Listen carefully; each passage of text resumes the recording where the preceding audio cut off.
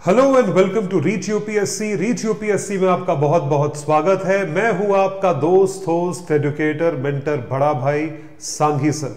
जैसा कि आप जानते हैं, रमेश सिंह सर की किताब है, उसकी सीरीज़ जो है वो चल रही है और we are completing the chapter service sector हम सर्विस सेक्टर को आज इस वीडियो के तहत खत्म करेंगे। तो हमने कई सारी सर्विसेज़ डिस्कस करी और एक बहुत महत्वपूर्ण सर्विस है, जिसके ऊपर आज की क्लास और आज के कई सारी मतलब सर्विस सेक्टर का जो मेजोरिटी कंट्रीब्यूशन आता है, वो कौन से सेक्टर से आता है, किस पर्टिकुलर सर्विस से आता है, इस बारे में आज चर्चा करेंगे। लिबरलाइजेशन के बाद एक बहुत मैसिव इन्फ्लक्स हुआ। इन्फ्लक्स हुआ और ग्रो हुई जो सर्विस वो थी इंफॉर्मेशन टेक्नोलॉजी की सर्विस आईटी सर्विस प्रोवाइड करने वाले, आईटी सॉल्यूशंस प्रोवाइड करने वाली कई सारी कंपनीज़ जो 1980s में शुरू हुई थी, जैसे कि इंफोसिस एचसीएल, जो पटनी कंप्यूटर सिस्टम्स के नाम से शुरू हुई थी, ये सारे सॉल्यूशंस प्रोवाइड करते थे, कंप्यूटर ठीक करना, वगैरह वगैरह। इन सब की चीज़ों को अप्लाई करना एक लॉन्ग लास्टिंग चीज़ को मद्देनजर रखते हुए, यहाँ देखते हुए आईटी सर्विसेज़ लिबरलाइजेशन होते ही एकदम से ये कंपनीज़ बूम करी। क्योंकि इन सॉल्यूशंस की ज़रूरत सबको पड़ती थी। और जैसे जैसे कंप्यूटर्स की अडॉप्शन बढ़ती गई आईटी सर्विसेज़ का मार्केट बढ़ता गया और आज ये billion multi billion dollar industries हैं। तो उसी तरीके से आईटी सर्विसेज़ का कंट्रीब्यूशन हमारी जीडीपी में बहुत मैसिव है। 10 साल 91 के बाद 1991 टू 2001 2001 टू 2011 और 2011 से 2021 तक इसकी ग्रोथ बहुत गुना हुई है। दो गुना, तीन गुना, चार गुना इस तरीके से ग्रोथ हुई है। तो आईटी सर्विसेज़ और बिज़नेस प्रोसेस मैनेजमेंट किस तरीके से बिज़नेस के प्रोसेसेस आईटी सर्विसेज़ के ज़रिए सॉल्व होते हैं, ये सारी डिटेल्स हम इसके ज़रिए जानेंगे। तो आइए देखें कि IT services information technology and business process management ये भारत के एक्सपोर्ट्स को लेकर, क्योंकि आईटी सर्विसेज़ एक्सपोर्ट भी होती है प्लस जितनी सर्विसेज़ यहाँ प्रोवाइड होती हैं, बहुत मैसिव कंट्रीब्यूशन रखा है। ओवर द लास्ट 20 इयर्स 99 2000 से लेके 2009 10 ये 10 साल का पीरियड और इसके आगे के 10 साल का period was seen as a decade of growth massive growth The last decade has been that of consolidation and the industry succeeded in decoupling revenue and employee growth. मतलब एम्प्लॉयज़ का ग्रोथ जो है, वो कम हुआ और रेवेन्यू ग्रोथ बहुत massive हुआ, क्योंकि बहुत सारी चीज़ें ऑटोमेट हो गई है जब भी आप किसी को फ़ोन कस्टमर केयर पे फ़ोन करके गाइडेंस देते हो that is a kind of IT service which is provided during 2020-21 जो रीसेंट है नास्कॉम के जो आंकड़े हैं प्रोविजनल एस्टिमेट्स है revenues excluding e commerce 194 billion dollars तकरीबन 200 बिलियन डॉलर्स क्रॉस करा है, जो कि 2.26 परसेंट से ग्रो करा है। इसके साथ साथ मैं आपको यह बता दूँ कि यहाँ पर एम्प्लॉय ग्रोथ उस तरीके से या उतनी नहीं है जितनी रेवेन्यू ग्रोथ है। ऐसा माना जाता है कि अगर रेवेन्यू बहुत ज़्यादा ग्रो कर रहा है तो बहुत ज़्यादा नौकरियाँ भी क्रिएट हुई होंगी, लेकिन वो पर्टिकुलरली इस सेक्टर को मद्देनजर रखते हुए नहीं हुई है। 2020-21 में number of significant structural reforms यानी कि बड़े डीप रूटेड रिफॉर्म्स किए गए हैं। They were undertaken to drive innovation, technology, adoption and efficiency in the bpm sector, such as the following. Bpm यानी business process management sector. इस sector को देखते हुए कई सारी चीज़ें करी गई जिसने कि, जिससे कि बिज़नेस के प्रोसेसेस को स्ट्रीमलाइन किया जाए। इसमें कुछ कुछ चीज़ों को स्ट्रीमलाइन करने के लिए, आसान बनाने के लिए बहुत सारे रूल्स और रेगुलेशंस को रिलैक्स किया गया है। Relaxation of OSP terms and conditions जैसा कि आप जानते हैं, भारत में बिज़नेस करना काफ़ी मुश्किल हुआ करता था। जब भारत के प्रधानमंत्री ने मैन्युफैक्चरिंग को मेन स्टे माना और make in India campaign launch करा तो एक बहुत ज़रूरी चीज़ पे फोकस आया वो ये था कि भारत में धंधा करना कितना मुश्किल या आसान है और अगर आसान नहीं है तो उसे किस तरीके से आसान बनाया जाए। तो वहाँ पर जो एक इंडेक्स इंट्रोड्यूस करी गई, उसका नाम था ease of doing business ease मतलब बिज़नेस करना कितना आसान हो गया है या होना चाहिए। उसको मद्देनजर रखते हुए बहुत सारी चीज़ें, जैसे कि भारत के अलग अलग सरकार के अलग अलग विभागों से परमिशन लेना गवर्नमेंट डिपार्टमेंट से परमिशन लेना। उसके साथ साथ एनओसीज नो ऑब्जेक्शन सर्टिफिकेट लेना लैंड का अप्रूवल करवाना एनवायरमेंट मिनिस्ट्री से अप्रूवल लेना, यदि आप एनवायरमेंट को डैमेज करने वाले हैं, जैसे कि पेड़ काटने वाले हैं, आपको इलेक्ट्रिसिटी का जो है अनइंटरप्टेड एक्सेस मिलना, साफ़ पानी का एक्सेस मिलना स्किल्ड लेबर मिलना, ये सारी चीज़ें बहुत ज़रूरी थी। तो इन सब चीज़ों को लेके कई सारे रूल्स को रिलैक्स किया गया और ये थे ओएसपी टर्म्स देखिए ease of doing business IT industry की क्योंकि बात हो रही है particularly BPO business process outsourcing IT enabled services government simplified other service provider guidelines of department of telecom reducing compliance burden of the BPO industry and enabling work from home. Work from home का जो culture है, ये हमें lockdown में देखने को मिला लेकिन आईटी इनेबल्ड सर्विसेज़ में वर्क फ्रॉम होम का कल्चर काफ़ी पहले से था और ये चीज़ भारत सरकार ने रिलैक्स करके मतलब इसकी एक आदत हैबिट बनाने की जो का बात करी है, ये इसके थ्रू करी हुई थी। वर्क फ्रॉम होम और work from anywhere major changes में no registration required for OSP आपको कोई रजिस्ट्रेशन रिक्वायर्ड नहीं है अगर आप अदर सर्विस प्रोवाइडर की कैटेगरी में आते हो। उसके साथ साथ BPO services engaged in data related operations taken out of ambit of OSP no requirement of bank guarantees bank guarantee मतलब आप बिज़नेस करना चाहते हैं लोन लिया है या आप कोई भी ऑपरेट कर रहे हैं बैंक की गारंटी की ज़रूरत नहीं है क्योंकि बैंक गारंटी देने में बहुत दिक्कत करता है। इंटेलेक्चुअल प्रॉपर्टी पेटेंट्स के बारे में भी पढ़ेंगे। स्टैटिक आईपीस इसकी रिक्वायरमेंट को रिलैक्स किया गया।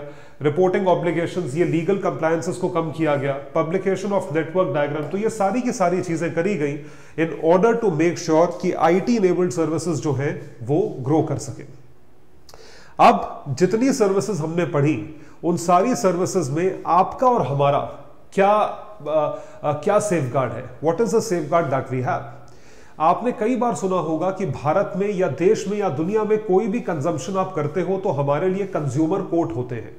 यदि हमारे साथ धोखा होता है यदि हमें कोई उल्टी सीधी चीज़ पकड़ा दी जाती है कोई गलत चीज़ पकड़ाई जाती है या मिस सेल किया जाता है तो आपके हमारे पास क्या कोई रिकोर्स या क्या कोई हेल्प है क्या कोई ऐसा आंकड़ा है जिसके ज़रिए हम उसको आ, हम उससे बच सके? तो कंज्यूमर कोर्ट्स होते हैं। कंज्यूमर कोर्ट्स बनाए जाते हैं एक कानून के तहत जिसका नाम है कंज्यूमर प्रोटेक्शन एक्ट ये कानून बहुत साल पहले आया था शुरू से रहा है लेकिन कंज्यूमर प्रोटेक्शन एक्ट को बार बार अमेंड किया गया है। कंज्यूमर के या ब्रांड्स जो कि सेल करते हैं उनके द्वारा मिस सेल किए जाने पर। कई सारी डेफिनेशन चेंज हुई और कंज्यूमर प्रोटेक्शन एक्ट बार बार अमेंड किया गया। देखिए, कोई भी कानून एक बार में बनता है तो वो फुल प्रूफ नहीं हो सकता। उसमें चेंजेस लाने पड़ते हैं क्योंकि nature of crime nature of fraud ये सब बदलता रहता है। So the act enforced in July 2020 empowers consumers आपको और हमें पावर मिलती है और प्रोटेक्शन मिलती है हमारे अधिकारों को through its various notified rules and provision such as consumer protection council CPC consumer dispute redressal commission mediation product liability punishment for manufacture और sale of products containing adulterant और स्पोरियस गुड्स स्प्यूरियस और adulteration या adulterated goods जो होते हैं, ये वो goods है जिनमें मिलावट होती है। किसी भी चीज़ में मिलावट है, जैसे कि चावल में कंकड़ होते हैं, दाल में पत्थर होते हैं, इस टाइप से अगर कोई गुड आपको बेचा गया है तो उसकी कंप्लेंट आप कहाँ कर सकते हैं? कंज्यूमर प्रोटेक्शन काउंसिल में कर सकते हैं। इसके ऊपर अब बात आती है IT services e commerce companies में ई कॉमर्स कंपनीज़ में ये चीज़ें और ज़्यादा हो जाती है या इसकी जो संभावना है ये काफ़ी होती है। उसका रीजन ये है कि ई कॉमर्स कंपनीज़ में आप जो है ऑनलाइन फ़ोटो देख के चीज़ खरीदते हो। नॉर्मली तो आप जाके दुकान पे देखोगे और फिर खरीदोगे तो उसमें आ, उसमें मिस सेलिंग होना या एडल्टरेटेड चीज़ इसकी संभावना कम है। आप देख के लेते हो आप फटा हुआ कपड़ा नहीं लोगे आप देखोगे उसे। लेकिन ई कॉमर्स में जो चीज़ आपके घर पे डिलीवर हो रही है, उसमें तो ये होने की संभावना है। तो वहाँ पर ऐसे कंज्यूमर प्रोटेक्शन काउंसिल्स की ज़रूरत ज़्यादा है। So e commerce entity is required to provide information relating to return refund exchange warranty guarantee delivery modes of payment grievance redressal payment chargeback option मतलब कितनी सारी चीज़ें ई कॉमर्स कंपनीज़ में जितने प्रोडक्ट्स बिकते हैं, उन सारे प्रोडक्ट्स के सेलर्स को ये सारी चीज़ें बतानी पड़ती हैं। तभी आप Amazon पे जाएँ फ्लिपकार्ट मिंत्रा जबोंग जितने भी ये प्लेटफॉर्म्स है बिग बास्केट ब्लिंकेट एक्सेट्रा आप सब पे जाके देख सकते हो, वहाँ पे लिखा होता है। स्पेशली ड्यूरेबल आइटम्स की बात हो रही है, आप सब्ज़ी पे तो सब्ज़ी फल पे तो नहीं लिखोगे, लेकिन ड्यूरेबल आइटम्स पे लिखा होता है कि no return no exchange no refund या ओनली एक्सचेंज नो रिफंड ये सब चीज़ें मेंशन होती है।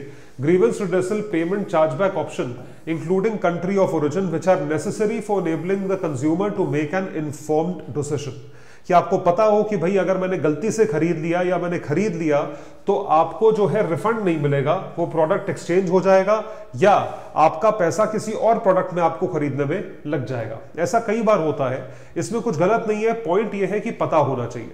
नो रिफंड नो एक्सचेंज वाले बोर्ड्स या वाले प्लेट्स आपने बहुत सारी दुकानों पर रखे देखे होंगे।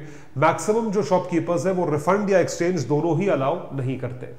तो ये हमारे सर्विस सेक्टर में एक बहुत महत्वपूर्ण सर्विस है। इसका बड़ा मैसिव कंट्रीब्यूशन है भारत की जीडीपी में।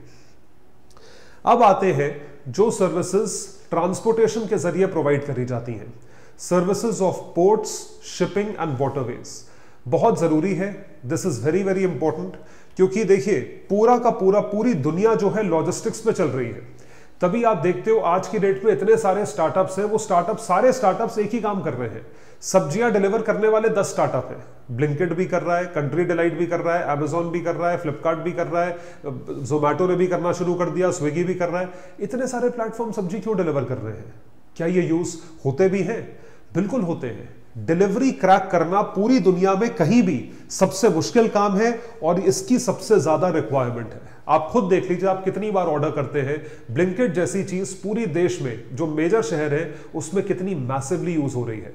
पोर्ट्स शिपिंग एंड वाटरवेज उसी तरीके से लॉजिस्टिक्स की प्रॉब्लम सॉल्व करता है सर्विस प्रोवाइड करता है ट्रांसपोर्टेशन की point A to point B चाहे वो इंटर स्टेट हो या इंटर सिटी हो या इंटर कंट्री हो। दो देशों के बीच, दो शहरों के बीच, दो राज्यों के बीच। तो पोर्ट्स की अगर आपको बात बताएँ, आपको थोड़ी सी ट्रिविया दे देता हूँ मैं, भारत की कोस्टलाइन साढ़े सात हज़ार किलोमीटर से लंबी है। और 7500 प्लस किलोमीटर्स में भारत के जितने भी पोर्ट्स हैं पोर्ट्स यानी कि वो पॉइंट्स या वो राज्य या वो वो एरियाज़ जो कि आपको अलाउ करते हैं सेल करना। मतलब जहाँ पे शिप्स एंकर होते हैं, जहाँ पे सामान को उतारा जाता है, सामान चढ़ाया जाता है शिप के ऊपर, उस पॉइंट को पोर्ट कहते हैं।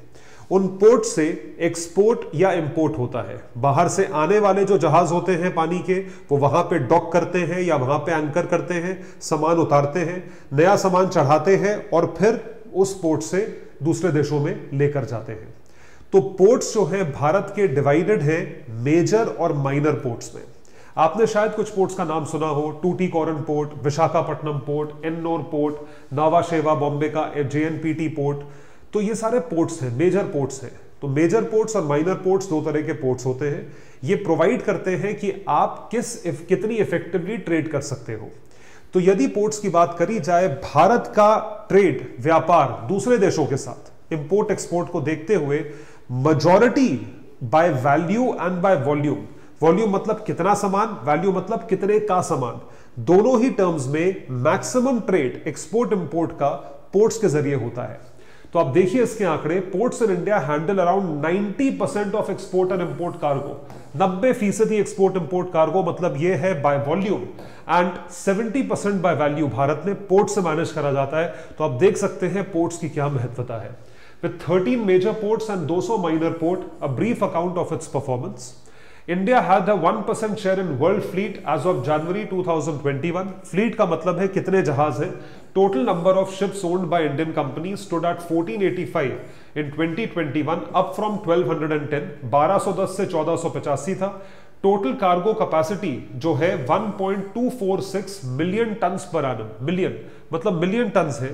तो आप सोच सकते हैं 1.246 जो है यहाँ तक पहुँचा फ्रॉम 1052 1052 से 1246 तकरीबन 200 मिलियन टन पर एनम जो है इतना बढ़ा है। उसमें आप ये देखें कि 2020 जब लॉकडाउन हुआ मैसिवली हिट ये सेक्टर था क्योंकि लॉकडाउन लगा था। एक्सपोर्ट इंपोर्ट बंद था। तो ये जो है डिसरप्ट हो गई कैटेगरी और ये बहुत ज़्यादा नीचे आ गया। तो डिस्ट्रप्शन जो कोविड 19 की वजह से हुआ cargo traffic at India sports decrease by 5.4 percent port traffic जो है 2021-22 से पिक मतलब जब रिज्यूम हुआ लॉकडाउन खुला तो शुरू हुआ। तो एक ही टाइम पे इन्होंने दस दशमलव एक छह ten point one six percent की ग्रोथ जो है वो देखी Consistent growth of around 6% was maintained in overall port traffic between 1516 and 1819, but it decelerated to 1.98% in 2019-20. अब सारी बात एक तरफ़ और कोविड 19 पैंडेमिक के लॉकडाउन खुलने के बाद जो है हमने रिकवरी काफ़ी अच्छे से शुरू करी ये एक अपॉर्चुनिटी भी है। अपॉर्चुनिटी कैसे है, ये आपको अभी मैं थोड़ी देर में समझाता हूँ। फिर बात होती है स्पेस सेक्टर की। स्पेस अंतरिक्ष, आसमान। स्पेस सेक्टर में India has made great strides बहुत हम्बल बिगिनिंग्स थी भारत की। एक बहुत अच्छी टीवी सीरीज़ है। रॉकेट बॉयज़ करके आप देखिएगा कि भारत के स्पेस को सेक्टर को किस तरीके से एक्सप्लोर करा, कैसे, किन परिस्थितियों में भारत का पहला रॉकेट लॉन्च देखा गया था 1960s में। और वहाँ से लेकर अभी तक भारत ने, भारत के स्पेस रिसर्च ऑर्गेनाइजेशन इसरो ने बहुत लंबा सफ़र तय करा है। तकरीबन 60 साल में we have become the world's powerhouse engine of growth in terms of space sector Bharat की गिनती, यानी इसरो की गिनती, दुनिया के सर्वश्रेष्ठ स्पेस रिसर्च ऑर्गेनाइजेशंस में और स्पेस रिसर्च प्रोजेक्ट्स में करी जाती है। इन सारी चीज़ों को मद्देनजर रखते हुए हमने जितने भी प्रोजेक्ट्स लॉन्च करे हैं, वो सिर्फ़ और सिर्फ़ अपने देश, यानी भारत के लिए नहीं करे हैं, बल्कि दूसरे देशों के लिए भी करे हैं। तो space program of India has grown exponentially since its modest beginnings five decades ago moving from simple mapping services कि मैप करो कि भाई क्या हो रहा है और भारत से कितनी दूर है चीज़ें 1960s to many more users currently अब तो आपको मौसम की जानकारी उसके साथ साथ गर्मी की जानकारी मेड डिपार्टमेंट जितनी चीज़ें करता है एग्रीकल्चर की जानकारी ये सारी चीज़ें आपको मिलती हैं it includes design development of series of launch vehicles PSLV GSLV related technology satellite related technology for earth observation telecom and broadband, navigation, meteorology, space science, R&D, most recently planetary exploration. ये सारी चीज़ें space में आपको या हमें पता चलती है। जो लेटेस्ट पोजीशन है भारत के स्पेस सेक्टर में वो क्या है? भारत जो है स्पेस सेक्टर में इस तरीके से कामयाब है और सारे देशों से, चाहे वो नासा हो, चाहे वो रॉसकॉस्मोस हो, चाहे वो सर्न हो फ्रांस का स्विट्जरलैंड का कोई भी संस्था हो, उन सबसे ऊपर इसलिए है क्योंकि भारत ये जितने प्रोजेक्ट्स बाकी देशों ने बहुत मैसिव बजट्स में करे हैं, भारत उसे 20 परसेंट या less than 20 percent ten percent budget में अचीव करता है चाहे वो मिशन ऑन मार्स हो चाहे वो चंद्रयान प्रोजेक्ट हो या कोई और प्रोजेक्ट हो। So India spend 1.8 billion dollars रफली 12 13,000 करोड़ रुपीस इन 2019-20 और भारत सरकार ने जो खर्चा करा है स्पेस पे still lags behind that of major players such as US which spend 10 times US ने भारत से 10 गुना ज़्यादा खर्च करा 18 बिलियन खर्च करा अगर हमने 1.8 बिलियन करा है तो। China has a key player in the space sector, also spent six times more money than India in 2019. India launched five to seven satellites per year in recent years with no failures, barring one in 2017. ये भारत की कामयाबी है भारत जो है एक बटा दस दस परसेंट बजट में भी बिना किसी फेलियर के ज़ीरो फेलियर रेट के साथ वो ही प्रोजेक्ट्स करता है और उसी इंटेंसिटी के साथ करता है जो चीन या अमेरिका दस गुना कॉस्ट पे करते हैं। तो किसकी ज़्यादा बड़ी अचीवमेंट हुई?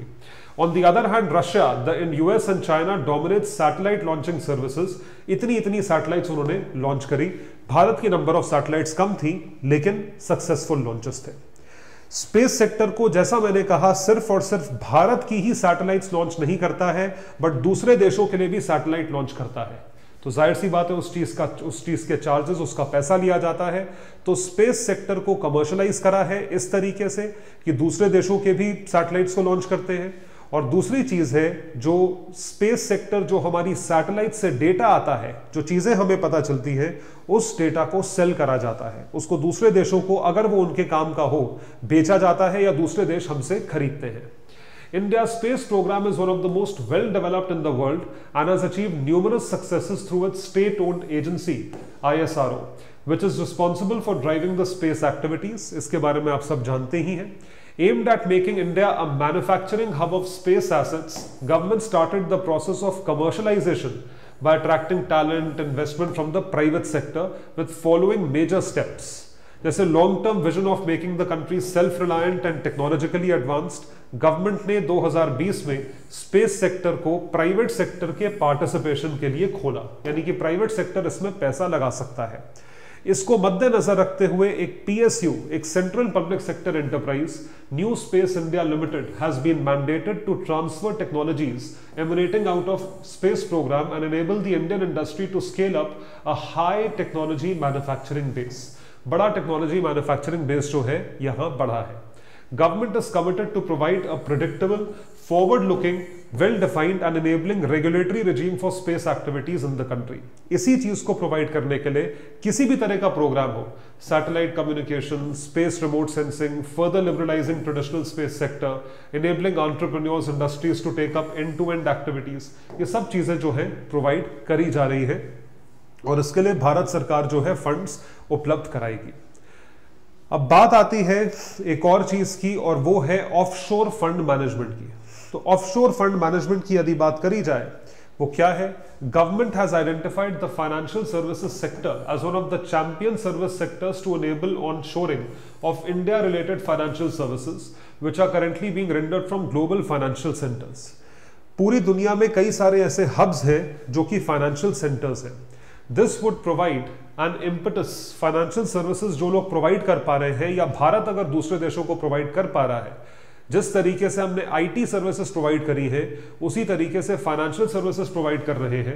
Exports and high skilled employment despite India strong performance in service exports Bharat की financial services exports have remain stagnant to about five billion dollars in recent years तो आप देख सकते हैं फाइनेंशियल सर्विसेज़ एक्सपोर्ट्स जो है, वो बढ़ी नहीं है। इसका मतलब हमें अपनी फाइनेंशियल सर्विसेज़ की मार्केटिंग और करनी पड़ेगी, जिससे इसका जो है, वो बढ़े। इसका जो दायरा है, वो बढ़े।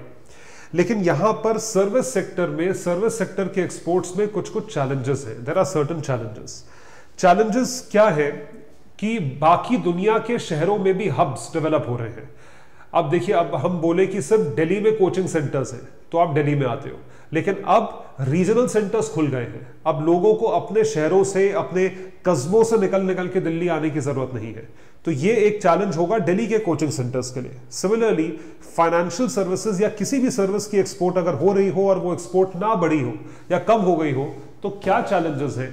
In key fund management jurisdictions such as US, UK, Singapore, Hong Kong, eligibility conditions under safe harbor provisions for offshore funds are fewer and less. वहाँ पे थोड़े कम स्ट्रिक्ट रूल्स हैं इंडिया में ज़्यादा स्ट्रिक्ट हैं। In many cases with description available to taxation authorities to evaluate offshore fund structure and investment pattern and allow for exceptions on a case by case basis In view of the above challenges, Commerce Ministry's high-level advisory group recommended simplifying the tax framework and tax residency risk. इतना आपको detail में जानने की ज़रूरत नहीं है। सिर्फ़ आप इतना जाने कि यहाँ पर इन चीज़ों को सिंप्लीफाई करने का प्रस्ताव रखा गया था। अब ये सिंप्लीफाई हुई नहीं, बीच में कोविड आ गया there were multiple challenges that happened इन चीज़ों को सिंप्लीफाई करना बहुत ज़रूरी है। बात होती है अब एक एडिशनल चीज़ की इंटेलेक्चुअल प्रॉपर्टी इंटेलेक्चुअल प्रॉपर्टी का मतलब होता है कोई चीज़ आपके इंटेलेक्ट से निकली हो, दिमाग से निकली हो। दिमाग का रिज़ल्ट इंटेलेक्ट कई सारी इंटेलेक्चुअल प्रॉपर्टीज़ हैं पेटेंट्स कॉपीराइट ट्रेडमार्क ठीक है? तो उसमें से हम पेटेंट्स की बात करेंगे।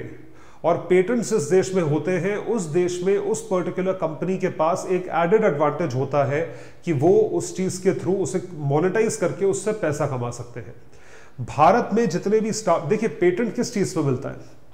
कुछ आप इनोवेट करो, कोई आविष्कार करो, जो चीज़ पहले नहीं हुई है। एक स्टार्क डिफ्रेंशिएटिंग फीचर तभी इनोवेशन कहा जा रहा है। उस पर्टिकुलर चीज़ पे आपको पेटेंट ग्रांट किया जाता है। उसको रेगुलेट करने के लिए हमारी कंट्री में भी कानून है Indian patents act patents office so Bharat के जितने स्टार्टअप्स हैं आईटी या नॉलेज बेस्ड सेक्टर में intellectual property specially specifically patents are key to this knowledge based economy अगर मुझे लगता है कि मेरी नॉलेज बेस्ड इकोनॉमी में मैंने कुछ बहुत स्टार्कली डिफरेंट करा है तो मैं उसका पेटेंट अप्लाई कर सकता हूँ। There has been a gradual increase in the filing and granting of patents in India ये चीज़ बढ़ी है, इसका मतलब इंडिया से काफ़ी इनोवेशन काफ़ी नई चीज़ें निकलकर आ रही हैं। Number of patents application are increasingly coming from Indian residents rather than MNCs. Share of Indian residents in total application has increased from 20% to 30% and 40%. सोचिए in total application share of Indian residents जो है बढ़ के double हो गया है 20 to 40 percent India ranking in global innovation index जो है, वो 35 रैंक्स बढ़ के 81 तक पहुँच फोर्टी फिफ्थ सिक्स तक पहुँच गई है 81 से। 81 से 46 पोजीशन पे हम पहुँच गए हैं। आने वाले तीन चार सालों में भारत और आगे पहुँच जाएगा। तो जैसा आप देख सकते हैं, इसका रीजन ये है कि हम, मैं क्यों क्यों ये बात हो रही है? कोई भी चीज़ अगर हम कोई सर्विस प्रोवाइड करने का नया तरीका निकालें, किसी जो स्टार्टअप्स है वो मोस्टली क्या कर रहे हैं? सर्विसेज़ प्रोवाइड कर रहे हैं। एक ऐप आपको क्या प्रोवाइड करता है? सर्विस प्रोवाइड करता है। तो वो सर्विसेज़ में अगर कोई चेंज है, कोई नई चीज़ आप तक आ रही है तो वो एक पेटेंट के लायक है।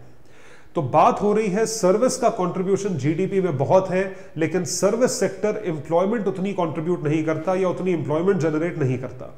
रीजन बीइंग कि एम्प्लॉयमेंट जो है, वो कम होती है। Employment is on the basis of education and skill और ये दोनों ही चीज़ें भारत के लोगों में लैकिंग है। All the focus being on manufacturing export in India has distracted attention from what be a no less noteworthy development. कुछ सालों में भारत की export of services have changed in significant and alarming way on one can see problem looking at market shares की market share बढ़ा है। ये जो developments है, इसके इंप्लीकेशन है। Realising India medium term growth potential of 8 to 10 percent will require rapid growth of exports अगर हमें 8 से 10 परसेंट पे ग्रो करना है तो। How rapid this should be suggested comparing to India export sector in services हम compare करते हैं अपने आप को चाइना से। चाइना का एक्सपोर्ट ग्रोथ जो है वो बहुत मैसिव है। चाइना तो वैसे भी मैन्युफैक्चरिंग में बहुत ग्रो कर रहा है। इंडिया मैन्युफैक्चरिंग में चाइना के आसपास भी नहीं है। इनफैक्ट मैन्युफैक्चरिंग में तो हम 20 परसेंट भी नहीं है चाइना के। तो हमें ये चीज़ सर्विस सेक्टर की ग्रोथ जो है, ये गुड इसके थ्रू भी दिखानी पड़ेगी। सर मतलब ग्रोथ जो है, वो सर्विस सेक्टर में दिखानी पड़ेगी। अगर चीन मैन्युफैक्चरिंग के ज़रिए उस रेट पर ग्रो कर रहा है तो भारत को सर्विसेज़ के ज़रिए उस रेट पर ग्रो करना पड़ेगा। उस चीज़ को मद्देनजर रखते हुए कई सारे डब्ल्यूटीओ के अग्रीमेंट्स हैं और कुछ बायोलैटरल अग्रीमेंट्स हैं जो कि भारत ने साइन किए हैं या भारत के साइन करने पे वो चीज़ इंप्रूव होगी। तो सर्विसेज़ की 8 से 10 परसेंट एक्सपोर्ट में ग्रोथ देखने के लिए भारत ने क्या क्या चीज़ें करी हैं, ये जानते हैं। अग्रीमेंट साइन करे हैं। भारत ने, भारत में स्कीम्स बनाई है, भारत सरकार ने। Service export of India scheme services के जिसमें टैक्स के एग्जामेशन दिए हैं कि यहाँ बैठे बैठे हम सर्विसेज़ को अच्छी मात्रा में एक्सपोर्ट कर पाए और भारी मात्रा में एक्सपोर्ट कर पाए। Beside some initiative in sectors such as tourism and shipping have also been taken in this regard. Given the potential of India service export potential बहुत है सर्विस सेक्टर नेगोशिएशंस मल्टीलैटरल यानी बहुत सारे देशों में बायलैटरल दो देशों में रीजनल एक पर्टिकुलर रीजन में South Asia ASEAN are of vital importance to India तो इस इन चीज़ों को देखते हुए जो भारत के अंदर की स्कीम्स हैं service export from India scheme इस स्कीम के तहत आप सर्विसेज़ को एक्सपोर्ट कर सकते हो। ग्लोबल एग्जीबिशन ऑन सर्विसेज़ हम सर्विसेज़ को ग्लोबली एग्जिबिट करते हैं। सर्विसेज़ कॉन्क्लेव्स ये सारी चीज़ें हो रही हैं। और इसके साथ साथ जो हमने वो साइन करे हैं we have sign the negotiation तो आप देख सकते हैं मिनिस्ट्रियल कॉन्फ्रेंस जो हुई उसके तहत implementation of preferential treatment in favour of services of least developed countries and increasing LDC participation in services कि ये भी सर्विसेज़ जो है कंज्यूम कर सके। तो हम इनको भी सर्विसेज़ प्रोवाइड करेंगे। ये चीज़ डिसाइड हुई मिनिस्टीरियल कॉन्फ्रेंस में। To maintain current practice of not imposing customs duty on electronic transmissions until next MC to be held in 2017 imposing जो है customs duty on electronic transmissions point ये है कि ई कॉमर्स में आप मत चार्ज करो ड्यूटी अगर आप चार्ज करते हो तो चीज़ महँगी हो जाती है और वो कहीं ना कहीं एक बैरियर है तो ड्यूटी को कम चार्ज करो India together with 20 other members have notified preferential treatment to LDCs preferential treatment का मतलब है, एलडीसी अगर हमसे सर्विसेज़ खरीदे तो हम उन्हें किसी तरह की छूट दे सकते हैं। टैक्स में छूट दे दी, सस्ती सर्विसेज़ दे दी, या एक्स्ट्रा सर्विसेज़ दे दी। कुछ भी मतलब जैसे एक एडेड एडवांटेज है, वो चीज़ दे सकते हैं। इन चीज़ों को देखते हुए कुछ बायोलैटरल अग्रीमेंट्स हैं, जैसे कि साइन किया है free trade agreement government of Singapore South Korea के साथ Japan Malaysia services and investment वो sign with ASEAN countries mid 2015 से। Though India took part in regional comprehensive economic partnership plurilateral negotiations, it finally decided to not join asking for relaxation in certain sectors. ये वो एक agreement है बड़ा controversial agreement है जो भारत सरकार ने साइन नहीं करा था. They did not sign this agreement लेकिन और अग्रीमेंट्स हैं जिसके तहत हम सर्विसेज़ को इंक्रीज कर रहे हैं. अब बात यह है कि कोविड के बाद पता लगा सर्विसेज़ की कितनी ज़्यादा ज़रूरत है। भाई सर्विसेज़ तो मैं घर बैठे बैठे भी दे सकता हूँ right I can provide services sitting at home तो सर्विस सेक्टर में जब पूरी दुनिया लॉकडाउन में बंद थी गुड्स नहीं बन रहे थे मैन्युफैक्चर नहीं हो रहे थे, या लॉजिस्टिक्स बंद थी, या आप तक नहीं पहुँच पा रहे थे, वहाँ पे आप तक सर्विसेज़ पहुँच रही थी तो बाकी सारी चीज़ों में डिक्लाइन था, लेकिन सर्विस सेक्टर में ग्रोथ था। सबसे बड़ा एग्ज़ाम्पल है edtech sector education sector so with view to convert Covid disruption into opportunity Bharat सरकार ने आत्मनिर्भर पैकेज सेल्फ रिलायंस पे फोकस करा। 20 लाख करोड़ का पैकेज था, जिसमें रिलीफ फाइनेंशियल स्टिमुलस सब कुछ था। और इन सारी चीज़ों को अपॉर्चुनिटी में देख, बदलते हुए हमने क्या करा? Measures related to these enterprises are expected to help grow faster and play a crucial role in economic revival इस इकोनॉमिक रिवाइवल को करने के लिए भारत सरकार ने कई सारे सेक्टर्स को सपोर्ट करा। सर्विस सेक्टर को सपोर्ट की ज़रूरत नहीं थी, ये एक ऑलरेडी अपॉर्चुनिटी थी। तो भारत सरकार को सपोर्ट करना था उन सेक्टर्स को जो सेक्टर्स बंद हो गए और अपने आप को सपोर्ट नहीं कर पा रहे थे। तो सर्विस सेक्टर से थोड़ा हट के चलते हैं। एमएसएमई सेक्टर जो कुछ बना के मैन्युफैक्चर करके चीज़ बेचता है एमएसएमई सेक्टर को 20 लाख करोड़ में से 2 लाख करोड़ के वर्किंग कैपिटल की अश्योरेंस भारत सरकार द्वारा दी गई। By revising the definition criteria for MSMEs, government has given them a chance to get bigger and listed on stock exchange platforms. Distinction between manufacturing and services MSMEs has been abolished और service sector को बहुत बड़ा boost मिला।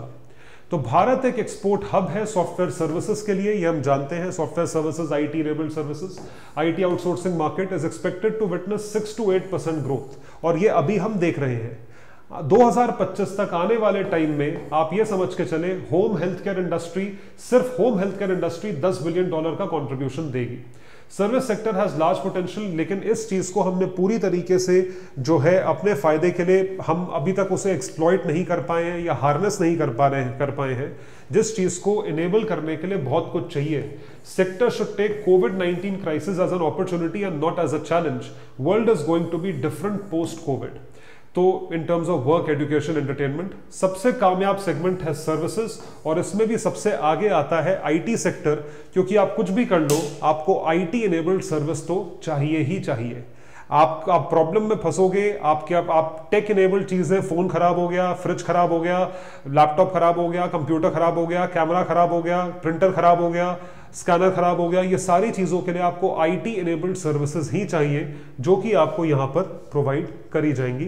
These would be provided to you so this is the end of service sector आप सभी से मेरी गुजारिश है कि अपने आप को जरा सा आप सक्षम बनाएँ, एक स्किल सीख के। वो स्किल आप कंट्रीब्यूट करेंगे, आप उस स्किल की वजह से सर्विसेज़ प्रोवाइड करेंगे, ये आपको जीवन में बहुत आगे लेकर जाएगा। ठीक है जी? थैंक यू सो मच अगले चैप्टर में हम फाइनेंशियल मार्केट स्टार्ट करेंगे. Bye everyone take care and all the best